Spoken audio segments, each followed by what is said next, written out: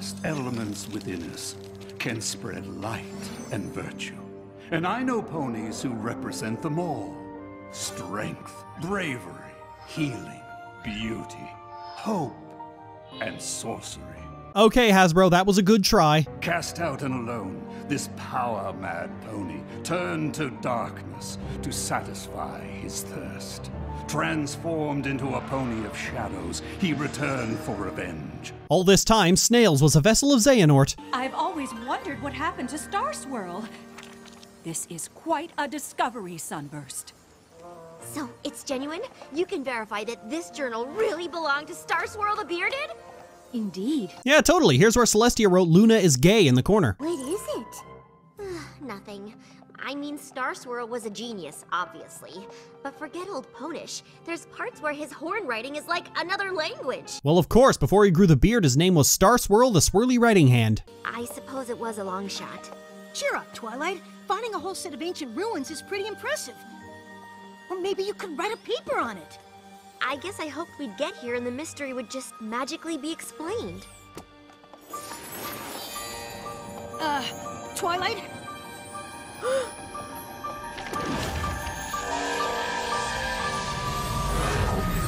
Oh, come on! I wouldn't say the mystery's solved. Star Swirl's spell was one of the most powerful feats of magic in all of history. It'll take years of study before we fully understand it. I think I understand Star Swirl's spell. Or just sheer bullheaded stubbornness. I don't know. Opening portals between worlds didn't work out well for me. Are you sure it's safe? First of all, you opened portals through time. And second of all, Star Swirl wrote the spell you used to do it. If he'd been here, he could have stopped it. And also, there's a portal in the other room that we go through all the time. This place has been in my family for generations, and I'm not about to let some whippersnapper take the last good piece of it. Time-wise, ponies came from far and wide to see these gardens. But that flower's the only worthwhile thing left.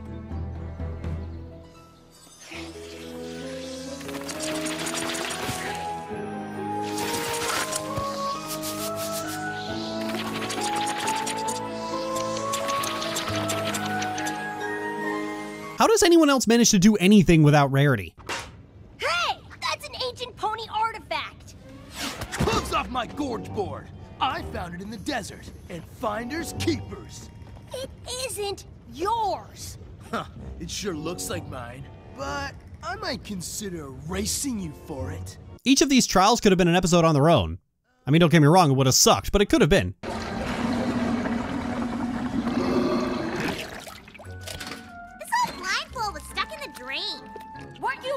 A blindfold? Oh, yeah! Pinkie, don't put that in your mouth. I'm sure Star Swirl and the Pillars did the best they could back then, but magic has come a long way, mostly because of the work they did. That's true. And you did get your wings from finishing one of Star Swirl's spells. Exactly. But then I messed with one and nearly destroyed the universe, so. Starlight, these two aren't complete fuck ups at everything they do like you are. Will you just sulk quietly in the corner? You cannot bring us back. But I did. I brought all the pillars back. You cannot bring only the pillars back.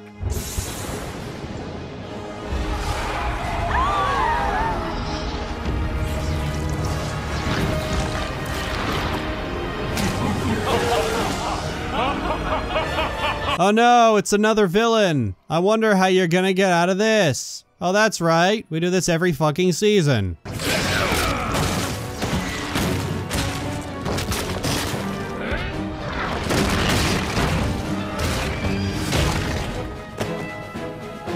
There! Without the power of Bonehenge, your banishing spell is useless. You have studied my writings. Surely you have some other plan. No, I just wanted to save you. Twilight, your fangirling has doomed us all. Lucky for her, she's not alone. Know this, fiend. We will not rest until we find a way to return you to Limbo. Why don't you just kill him? One and a half unicorns were able to spell lock him, just everyone starts shooting. Then my spell worked. Before it was meddled with. and the realm has been at peace for a millennia. Well, we did have to save everybody from Nightmare Moon and Discord and Chrysalis and King Sombra and Lord T-Rex, and there was that one time when Starlight traveled through time and almost destroyed life as we know it. But that's all in the past. So there's been peace from that one guy, but Equestria's stability is still like a house of cards in a tornado. They are reflections of our own elements of hope, strength, beauty, bravery, healing, and sorcery. This old and very practiced wizard cannot stand being around Twilight. I wrote a book like this once. They'd be gone forever? Star Swirl, I don't think the tree can survive without the elements. If it dies, Equestria will suffer. If the Pony of Shadows has his way, your land will not exist. So, unless you have a better idea, I do. Go find the Pony of Shadows and shoot him. Also, where the hell are Celestia and Luna? The pillars though we'll lose the elements, we'll have the ponies that created them, and the Pony of Shadows will be banished for good. That's great.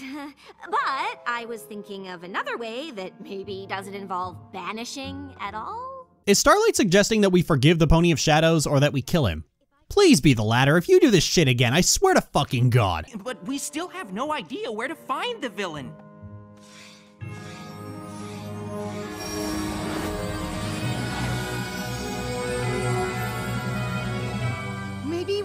We try there? That is a horrible plot contrivance. The writers are abusing the map. Uh, I know I'm not as experienced as all of you, but is banishment really the only option? I mean, it's been a long time. Maybe the Pony of Shadows is ready to talk? Oh no. But we could try. Starlight, I'm sure Star Swirl and the others did try. the Pony of Shadows was not interested in reconciliation. Once a villain, always a villain. Oh no.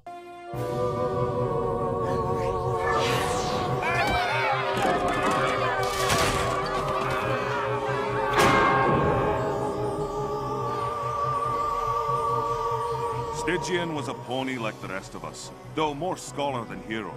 He recognized our emerging world would need champions to defend it. Are you fucking serious?